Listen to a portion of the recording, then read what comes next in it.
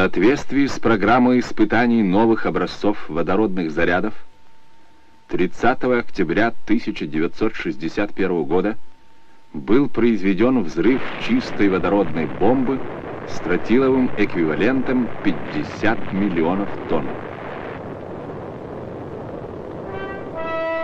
Новый водородный заряд разработан большим коллективом ученых, конструкторов и изготовлен на предприятиях министерства. Для испытания заряд был смонтирован в корпусе авиационной бомбы, способной вмещать заряды мощностью 100 миллионов тонн и более. Взрыв намечалось произвести на большой высоте над землей с использованием самолета-носителя.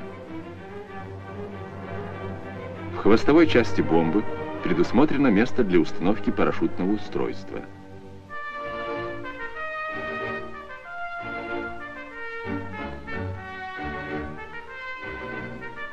Для транспортировки в собранном виде изделие было помещено в особый железнодорожный вагон –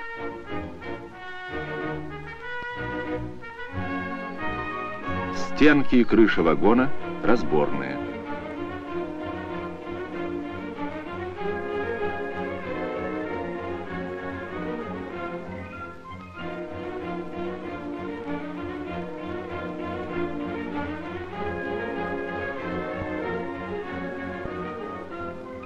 Месту назначения изделие было направлено специальным поездом.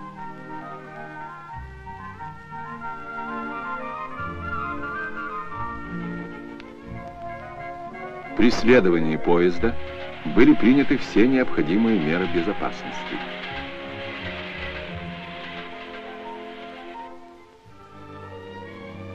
Для подготовки бомбы к испытаниям и подвески ее к самолету был выбран один из аэродромов дальней авиации военно-воздушных сил, расположенный на Кольском полуострове.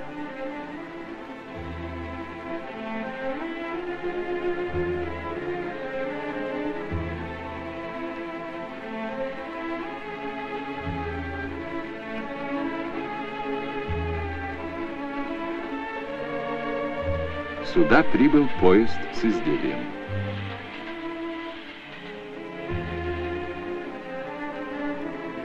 На железнодорожной станции аэродрома хорошо оборудованная погрузо-разгрузочная площадка.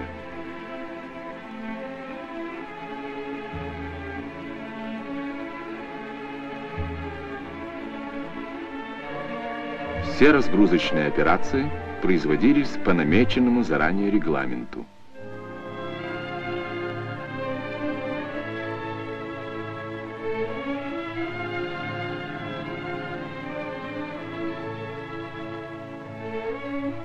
После завершения разборки вагона к железнодорожному составу подан автомобильный поезд. И изделие было перегружено на автоприцеп для дальнейшей транспортировки.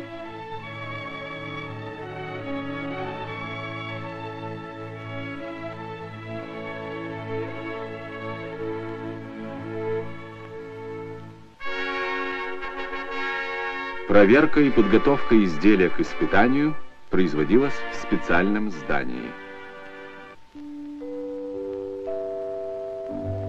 Здесь детальному и строгому техническому контролю был подвергнут каждый узел изделия, каждый элемент его автоматики.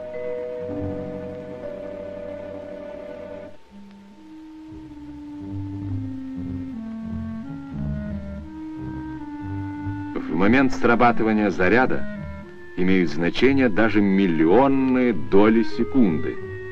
Поэтому элементы автоматики, телеметрические датчики и передающие устройства должны быть настроены на заданную программу с абсолютной точностью.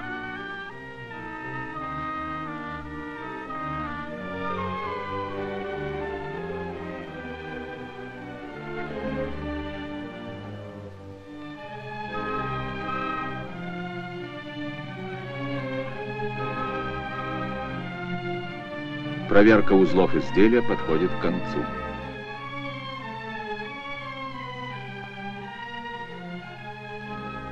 Устанавливаются на свои места съемные части бомбы.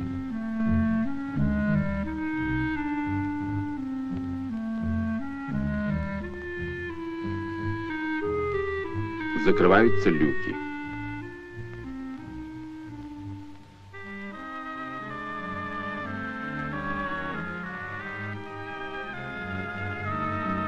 Последний общий осмотр.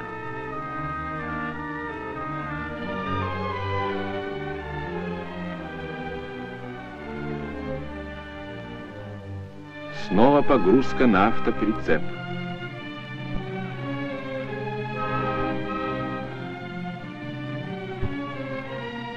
Бомба подготовлена для вывоза на подвеску.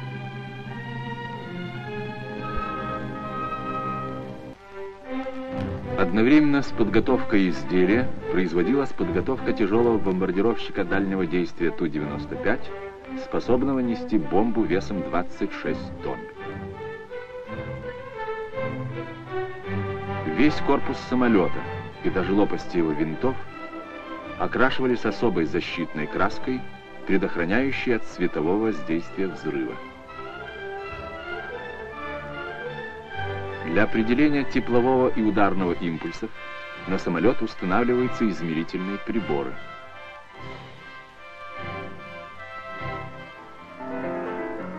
Специально оборудованный самолет-лаборатория должен сопровождать самолет-носитель. На борту этого самолета были размещены приемная радиотелеметрическая аппаратура, самописцы давления ударной волны,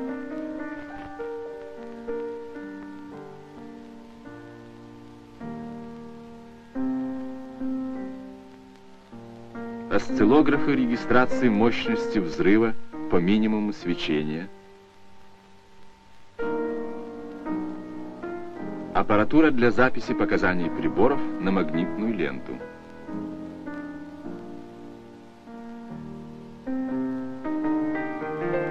Снаружи крепились кинокамеры для съемок явления взрыва с воздуха.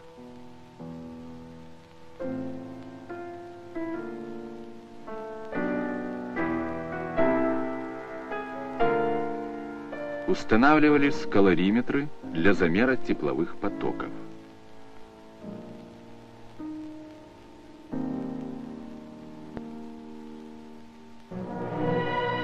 узел связи аэродрома.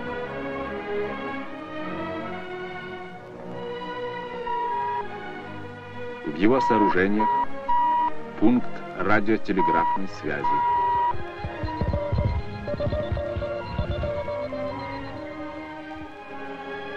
Аппаратура для радиотелефонных переговоров.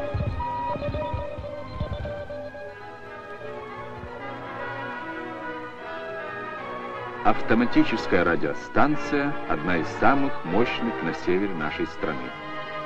Все это позволило организовать систему надежной дублированной связи между пунктами, обеспечивающими проведение испытания, которые находились на значительном расстоянии друг от друга.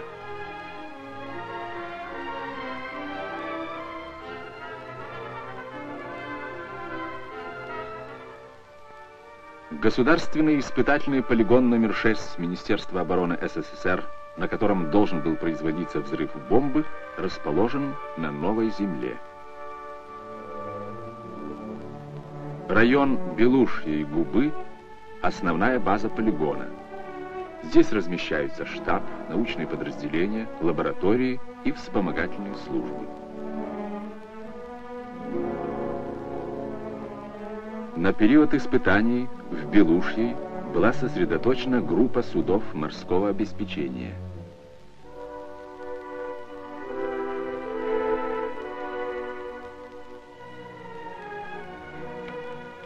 Объединенный командный пункт руководства испытанием находился в подземном сооружении. Здесь большой радиотелеграфный и радиотелефонный узел – его задача входила поддерживать двустороннюю связь с пунктами, расположенными на территории полигона, с аэродромом на Кольском полуострове, с самолетом-носителем во время его полета. Расстояние от командного пункта в Белушьей до опытного поля 260 километров.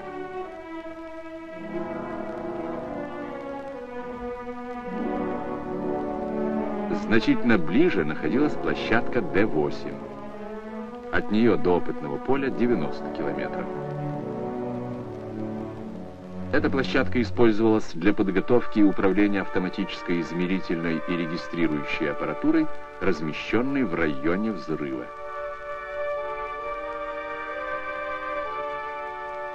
Средством сообщения между площадкой Д-8 и опытным полем служили военные корабли.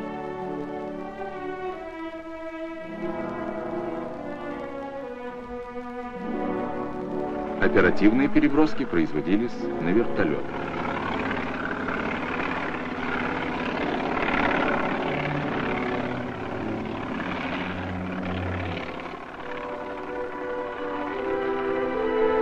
Площадка для сброса бомбы была выбрана в той части Новой Земли, где характер местности создавал наилучшие условия безопасности взрыва.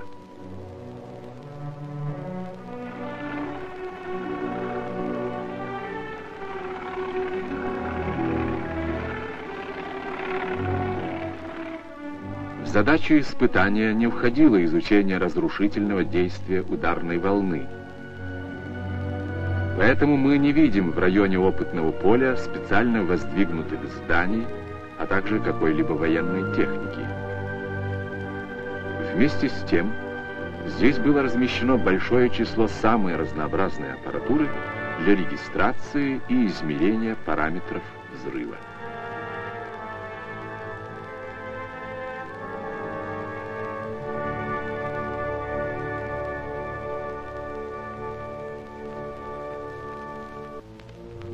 17-20 километрах от центра площадки в наземных металлических сооружениях устанавливались фотокамеры.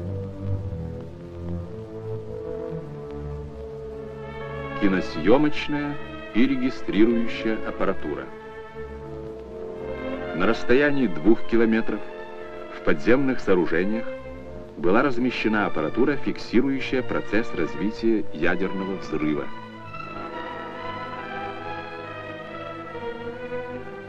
Осциллографы записи коэффициента размножения нейтронов, измерители интервалов времени срабатывания автоматических устройств заряда.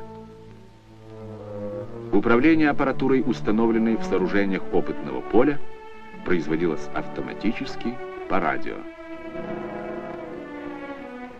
Радиосигналы поступали с площадки Д-8, где в подземном сооружении находился командный пункт службы автоматики поля.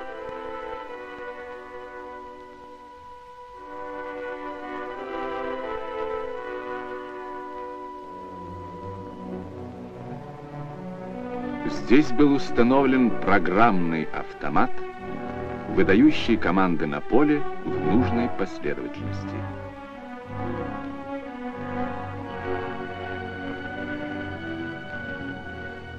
Как же проходил основной этап испытаний?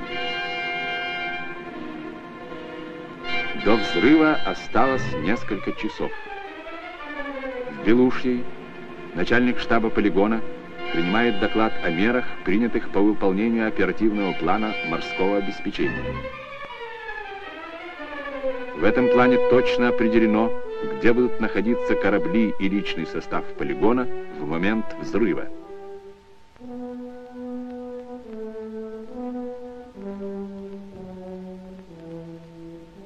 Подготовка опытного поля закончена.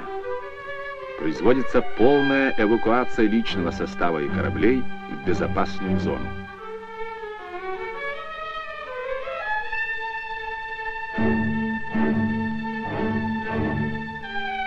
Напряженно работает метеорологическая служба. Составляется карта прогноза погоды. Особенно тщательно изучается направление ветров – Боевой готовности служба противовоздушной обороны.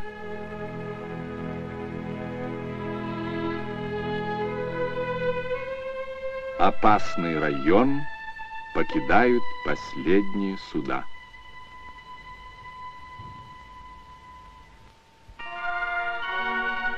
Принято решение подвесить изделие к самолету-носителю.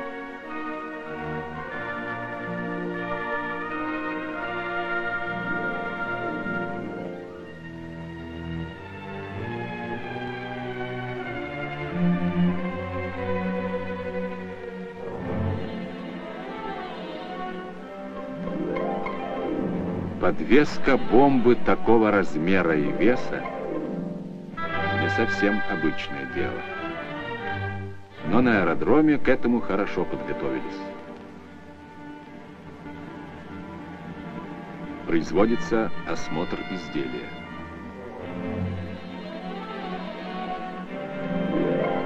Особенно тщательно проверяется укладка парашютной системы.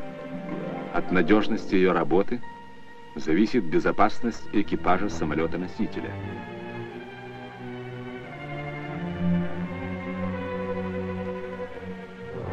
Для подвески бомбы созданы специальные подъемные устройства.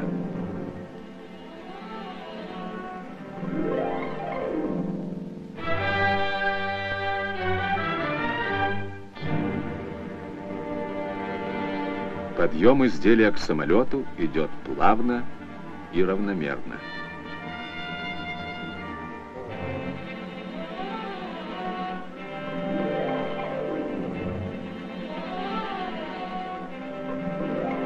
Размеры бомбы не позволяют разместить ее в бомболюке самолета, поэтому она закрепляется снаружи под фюзеляжем.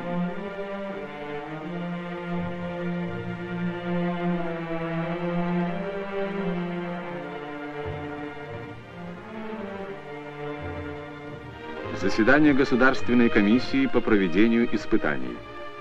Производится оценка общей обстановки, складывающейся в районе испытания к назначенному времени взрыва. Окончательно уточняется трасса и условия полета самолета-носителя. На новой земле еще раз проверяются условия безопасности от последствий взрыва для районов, расположенных вне территории испытательного полигона – Анализ данных, из которых складывается общая обстановка к моменту взрыва, дает уверенность в том, что распространение ударной волны будет ограничено, а зона возможных разрушений у земной поверхности минимальной.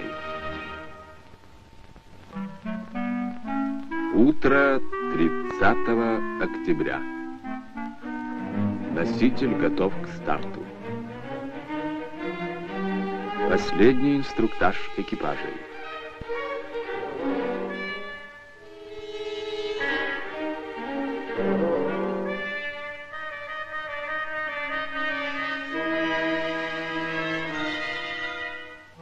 Командный пункт аэродрома.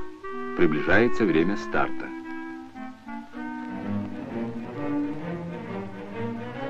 Разрешен запуск моторов. Заработали турбовинтовые двигатели.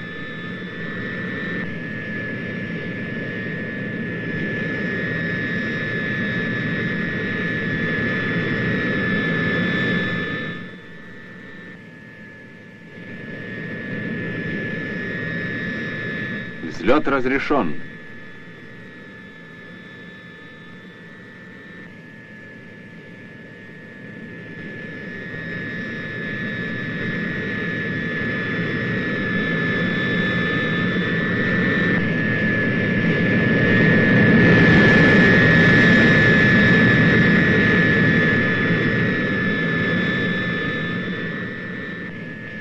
Следом за носителем воздух поднимается самолет-лаборатория.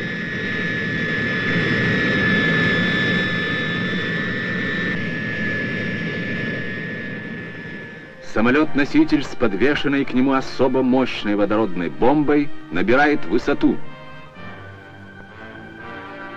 За ним ведется неослабное наблюдение из различных пунктов на Земле. С экипажем поддерживается непрерывная двусторонняя связь.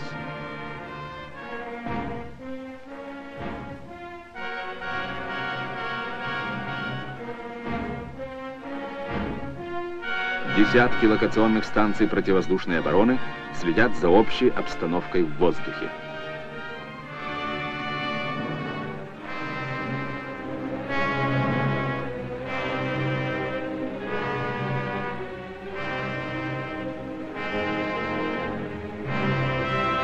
Высота 10 500 метров. Экипаж самолета-носителя отлично подготовлен к выполнению ответственного боевого задания.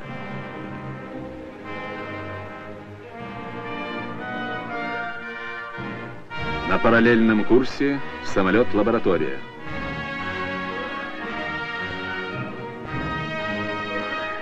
Точно следуя намеченным курсом, самолеты приближаются к новой Земле.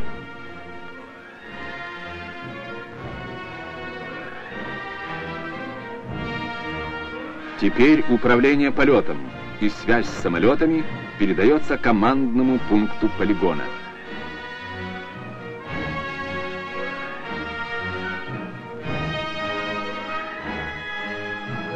Сюда поступают доклады экипажей о ходе полета. Отсюда, по условным таблицам, передаются команды на самолет-носитель. Носитель вышел на боевой курс. Цель видна. Управление сбросом бомбы переводится на автоматику.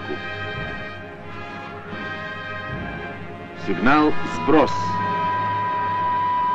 На Д-8 включается программный автомат аппаратуры опытного поля. «Сброс!»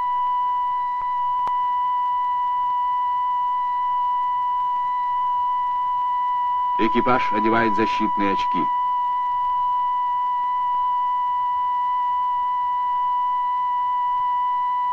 Программный автомат принял сигнал «Сброс» и выдает команды запуска аппаратуры опытного поля. Точно по расчету сработала парашютная система.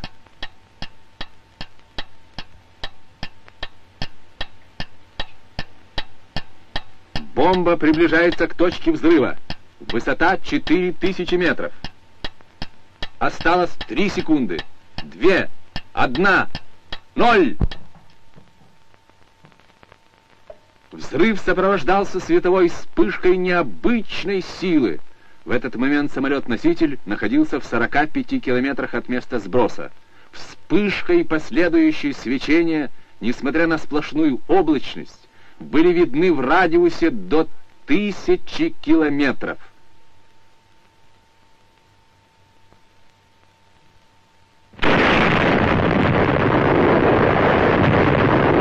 Полевой столб, поднимающийся с земли, быстро увеличился в объеме. Через несколько секунд после взрыва диаметр полевого столба составлял около 10 километров.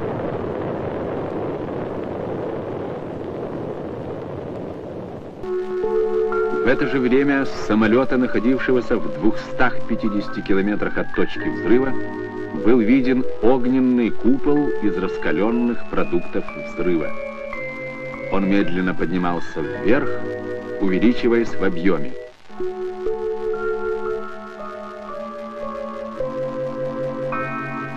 Максимальный диаметр купола доходил до 20 километров.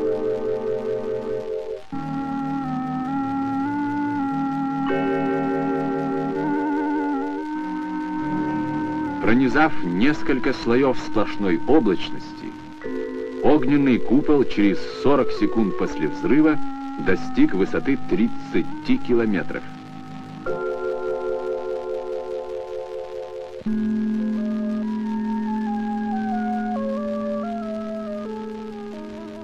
С этого момента началось постепенное превращение купола в грибообразное облако.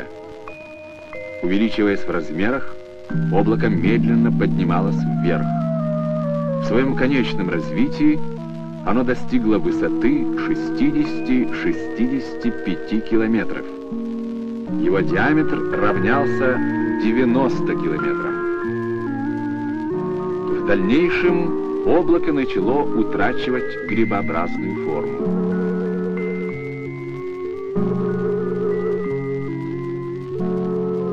В этот период диаметр его основания был равен 70 километрам, а диаметр ножки 26-28 километрам.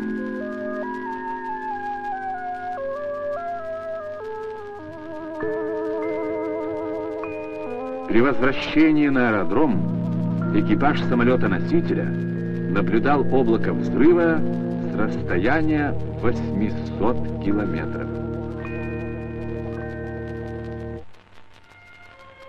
Через несколько часов после взрыва на опытное поле вылетел вертолет радиационной разведки. В район опытного поля вышли корабли с испытательскими группами. А вот и опытное поле.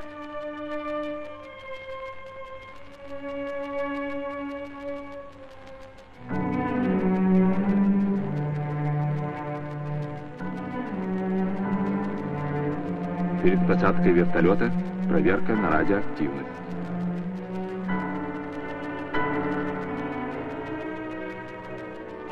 Даже в самом центре площадки она оказалась незначительной.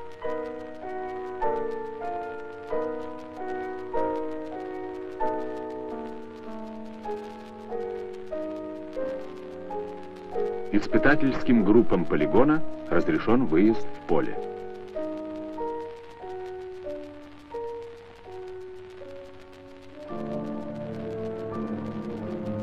Вспомним, как выглядело опытное поле до взрыва.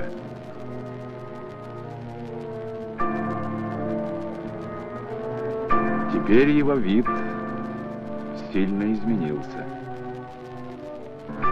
На десятки километров вокруг опаленная взрывом земля.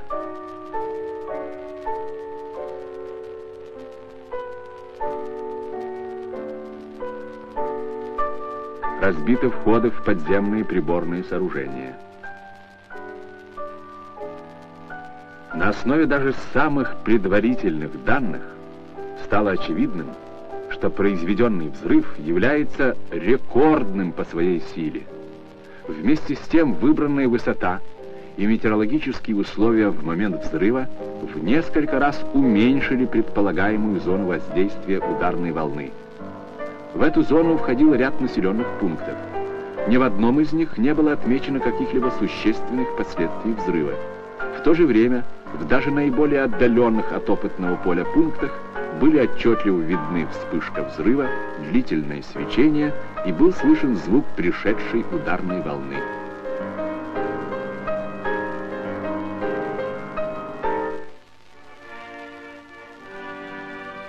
Вся регистрирующая измерительная аппаратура на опытном поле сработала нормально. Полученные данные позволили определить фактическую мощность взрыва, характер ядерной реакции, точность срабатывания автоматики изделия и ряд других факторов.